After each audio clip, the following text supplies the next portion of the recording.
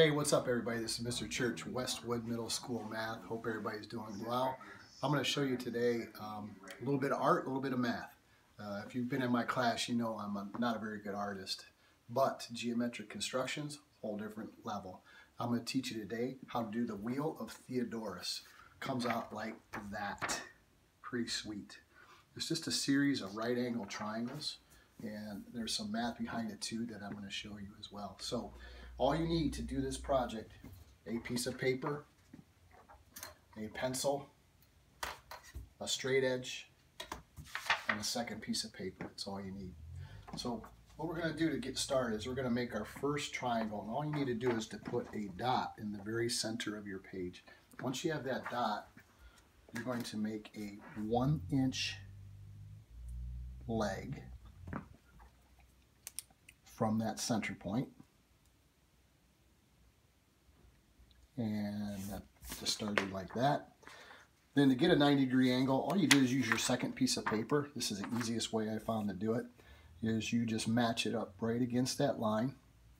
And then you take your straight edge and you're going to make another one inch line connecting that.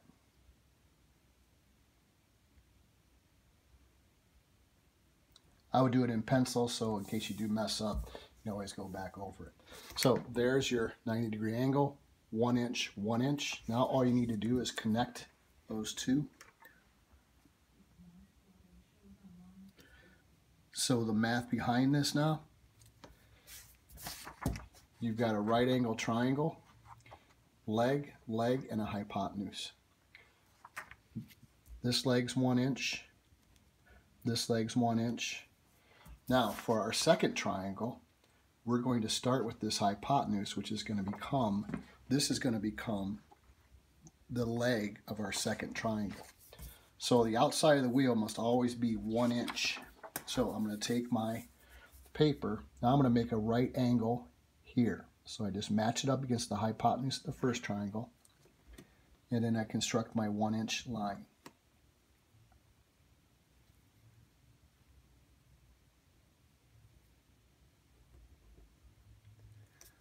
So again, this is one inch. And now all I do is I connect those two legs with my center point.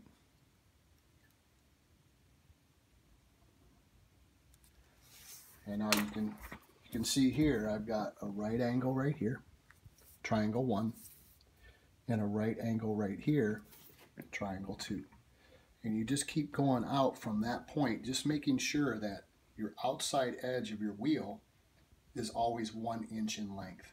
So I'll make one more for you just so you can see that.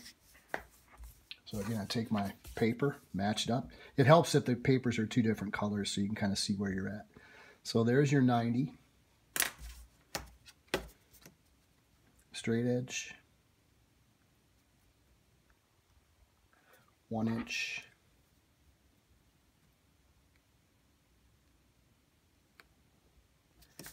And then connect and there's your third right angle triangle. And you can see how it starts to spiral out.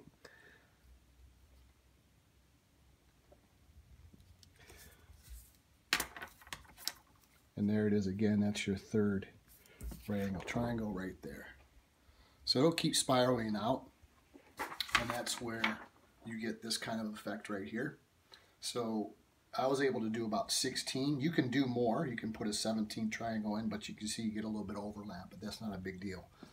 Now from here, uh, I am certainly not as good as Mr. Miko or Mr. Rainey or any of our other fantastic art teachers in the district, but you and they can probably come up with all kinds of different ways to make this artistic. Maybe a nautilus shell, uh, maybe a ram's horn. There's all kinds of things you can do with this. So turn it into art for your refrigerator. Your parents, your grandma, grandpa, aunt, uncle will love to see it. It's going to be beautiful. So you'll take it from here and make it really beautiful. Now there is some math behind this. So if you look at it, we know if we have a right angle triangle, we have Pythagorean theorem, which grade 8, we just got done with Pythagorean theorem, and that is a squared plus b squared equals c squared leg squared plus leg squared equals the longest side squared. So the math behind this is you can see the first triangle, the legs are both one inch. I'm dealing with this one right there, one inch, one inch. So one squared plus one squared equals c squared. 1 plus 1 is 2. So the first triangle's hypotenuse is the square root of 2. Now the second triangle, since that hypotenuse now becomes a leg, our other outside leg is still 1 inch. So anytime you square a square root, you get the number that's under the symbol. So this is the square root of 2 squared is 2, and this 1 squared is 1. 2 plus 1 is 3. So the second hypotenuse is the square root of 3. And subsequently, if you go up, the third triangle, the hypotenuse is 2 inches. The fourth triangle is the square root of 5. So it goes sequentially, square root of 2, 3, 4, 5, all the way up from there to get to the outside of your Wheel of Theodorus. I hope you enjoyed it. Listen, be safe.